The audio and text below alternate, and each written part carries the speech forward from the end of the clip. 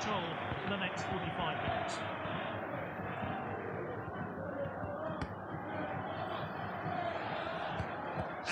And it's a throw in. No yellow cards so far. Let's hope it stays that way. Party.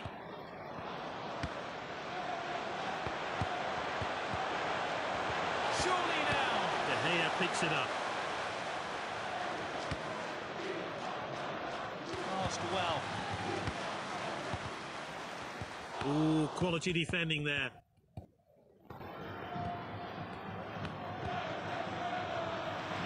Kolasinac. Oh, determined challenge there.